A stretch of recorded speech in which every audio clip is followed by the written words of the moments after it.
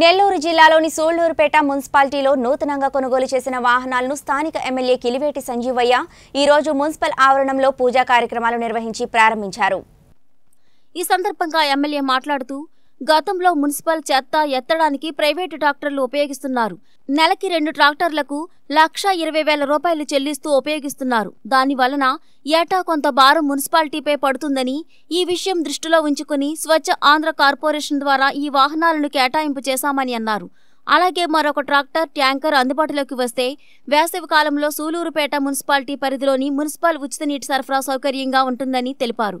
దీనికి కావలసిన ఏర్పాట్లు కూడా చేస్తామని అన్నారు. ప్రారంభించిన ట్రాక్టర్ను ఎమ్మెల్యే స్వయంగా నడిపి ప్రారంభించారు. ఈ సందర్భంగా మున్సిపల్ అధికారులు సిబ్బంది మరియు వైసీపీ నాయకులు కళ్ళుత్తూరు శేఖర్ రెడ్డి దబ్బల శ్రీమంత్ రెడ్డి గోగుల్ తిరుపాల్ మరియు కార్యకర్తలు పాల్గొన్నారు. స్వచ్ఛాంధ్ర కార్పొరేషన్ ద్వారా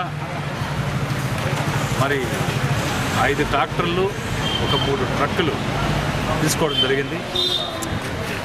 గతంలో ఈ మున్సిపాలిటీకి ఈ చెత్త వాటిని క్లీనింగ్ కొరకు మరి బాడుకి నెల బాడుకి రెండు ట్రాక్టర్లు పెట్టుకొని ఏర్పాటు చేసుకోవడం జరిగింది. నెలబాడుగా ఒక్కొక్క ట్రాక్టర్కి అరవై వేలు చొప్పున రెండు ట్రాక్టర్లకి లక్ష ఇరవై వేలు ఇస్తామన్నాం. ఈరోజు సొంతంగానే మున్సిపాలిటీ మరి మూడు ట్రాక్టర్లు ట్రక్కులు మరి రెండు ట్రాక్టర్లు కలిపి రెండు ట్యాంకులు కూడా తీసుకోవడం జరిగింది.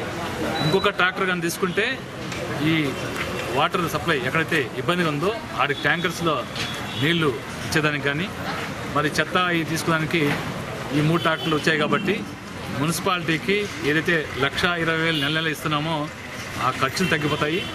మరి ఇది ఎప్పుడు కూడా ముగ్గురికి ఎంప్లాయ్మెంట్ కల్పించినట్టు ఐదు మందికి. ప్లస్ సొంతంగా మున్సిపాలిటీలో ఈ వెహికల్స్ ఏర్పాటు చేస్తున్నామండి మరి మున్సిపల్ ఆదాయానికి కూడా మంచిదని ఈ సందర్భంగా తెలియజేస్తూ మరి ఈ సిఎస్ఆర్ ద్వారా కొన్ని క్లీనింగ్ ఈ ఈ వీధులు ఇచ్చేదానికి ఆ ఎక్విప్మెంట్ కూడా అడుగున్నాము. వాళ్ళు కూడా ఇస్తానని చెప్పినారు. ఈ సొన్నా టోల్ టోల్ వసతిని అడగడం వాళ్ళు ఇస్తామని చెప్పారు. ఒకవేళ ఇది కనుక వస్తే ఆ మిషనరీ రెండు కూడా మున్సిపాలిటీ రెండు మున్సిపాలిటీకి నాయుడుపేట మున్సిపాలిటీకి చూలుపేట మున్సిపాలిటీ కూడా ఇస్తున్నారు అది కూడా ఇస్తే కొంత ఉపయోగకరంగా ఉంటుంది. భావిస్తాం